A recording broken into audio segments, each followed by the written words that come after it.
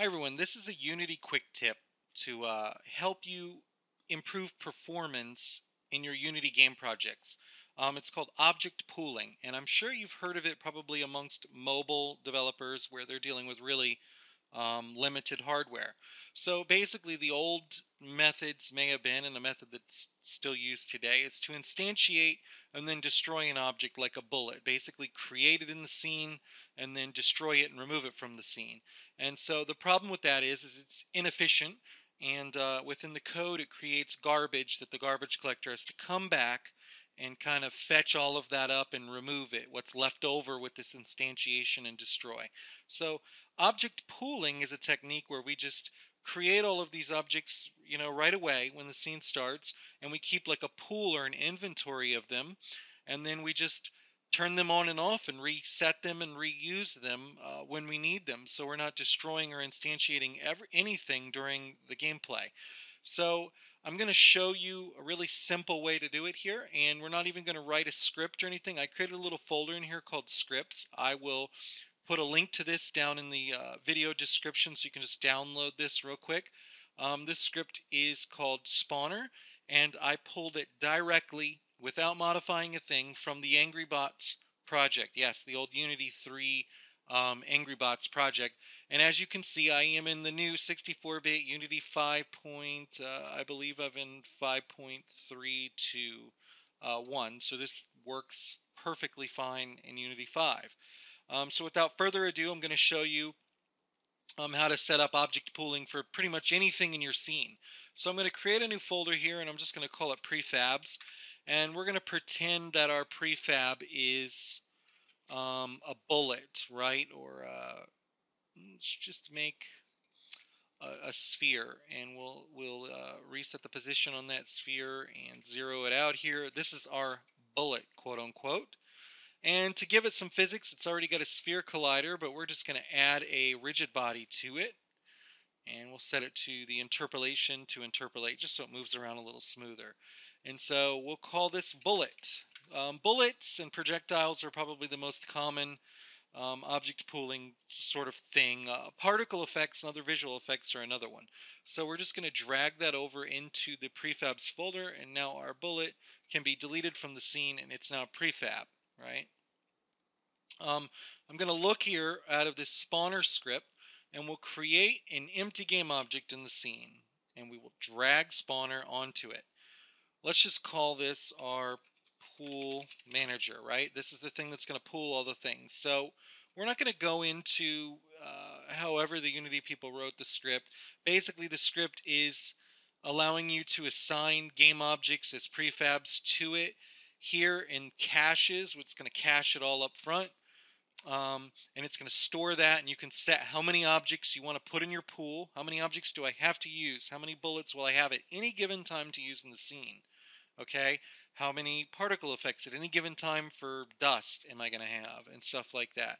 So the cache is like, um, what object do I want to set aside a pool of objects? And I'm going to say, for now, just one, right?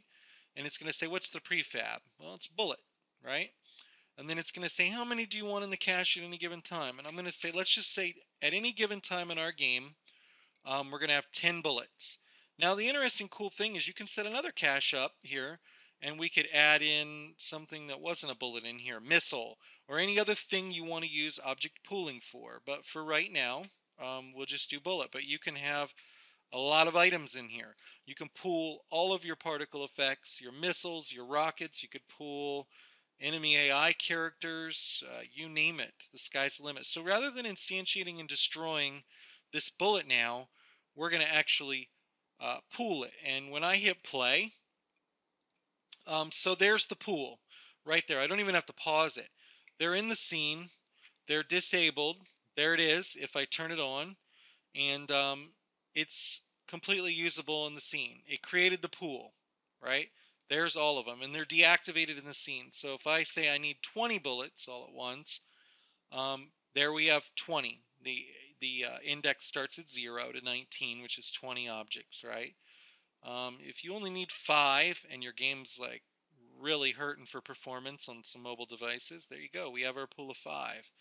Now to test the pool's working. You see it there, you see the objects, but how do we use them, right? So I just came up with a little tiny, super simple script, and uh, I'll just create another empty game object. It can be applied to anything. This is basically like, uh, think of this as your gun, uh, the foot, the feet that are going to kick up the particle effect of the dust, anything that's going to spawn an object that you want, right? We want to spawn this bullet. Um, this is going to be your own type of script. For me, it was just, hey, create a game object um, and spawn it at the transform position and rotation of this game object I just, at the same object that the script was um, assigned to, right? And the way that you instantiate it, you can also use this in C Sharp. Not a problem, right? Um, you just need to make sure that you access it by calling spawner, which is this script, and the spawn function inside of it. And that means, hey, don't instantiate this the normal way. Use the spawner, right? The pooling manager that we created here, which is called spawner. So we instantiate from that, right? We pool from that, not really um, instantiate, right? And it works in C Sharp. Um, there is a script compilation order uh, thing uh, between JavaScript and C Sharp. So if you want your C Sharp to be able to see um, this spawner JavaScript, uh, it can. You can use C Sharp and JavaScript just fine. Make sure this compiles first, which means put this inside of the standard assets folder, inside of a scripts folder, um, or I believe you can just go right here into execution order and you can um, add these and say which one executes before the other one, right? So add scripts in a custom order and drag them to reorder. Um, they can execute before or after. They are executed from top to bottom. So we always want the spawner to execute first because it's the JavaScript, right? And our demo example in my scene is is uh, is JavaScript, but in your case, it would probably be C Sharp, and you want it to be able to find the JavaScript. So as you can see here, you can do that with this um, execution order. Um, so it's pretty easy. So here's my gun or whatever, and it's going to be spitting out bullets.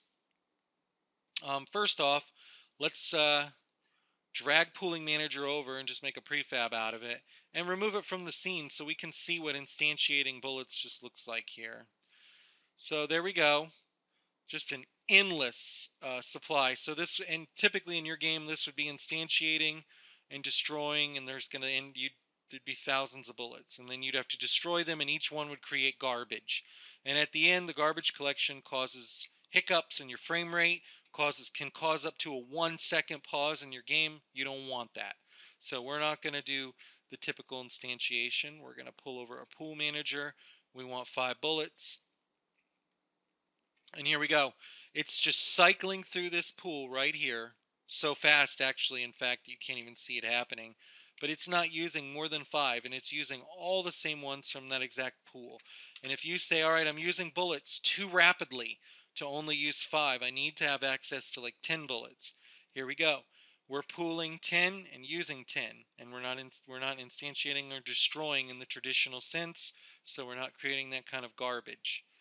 Um, if you need 20 and you have a bullet hell shoot 'em up game, here you go, 20. Right? I found the bullets travel so fast. If you have a normal firing rate in your game, I can use um, about five, right? I can use 10 or 5. The bullet streaks by usually so fast it's gone before it was even fired and you barely see a streak. 10's okay. You know, 10's pretty good. Um, so and that's exactly how that works. And this is a script that you don't even have to write. Uh, you can grab that off the download link or just pull the script spawner out of the Angry Bots uh, demo. So that's basically a really easy way to do object pooling without spending any money or going through any complicated systems or tutorials or anything like that. Just grab the script, set it up like I did, set all your different caches for the objects you need, um, I found that things like bullets, you need a low cache size because they go by so fast and they're gone before you know it.